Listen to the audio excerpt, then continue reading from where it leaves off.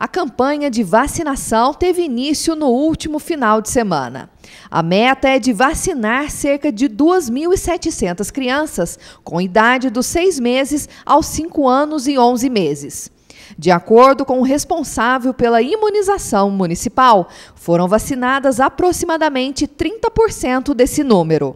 Começamos a campanha no dia 8 de novembro é, consideramos que foi, foi favorável, foi bom. Nós vacinamos cerca de 900 crianças né, no primeiro dia da campanha. E como a campanha se estende até o dia 28, a gente tem total confiança que vamos sim alcançar a, a nossa meta, né, que é vacinar é, cerca de 2.700 crianças aqui em Guaxupé. Os postinhos da Vila Carlone, Saúde da Mulher no Planalto, Vila Campanha, Saúde da Criança no Parque das Orquídeas, Parque dos Municípios 2, Aroeira e Pio Damião estão abertos durante toda a semana para que as crianças recebam a dosagem das vacinas contra a paralisia infantil, sarampo, cachumba e rubéola. Nossa meta é 2.700 crianças. E no sábado nós fizemos um balanço, só veio apenas 900 crianças. Então, reforçando a importância da vacinação nesse grupo, né, menores de 5 anos, contra o sarampo e contra a paralisia infantil.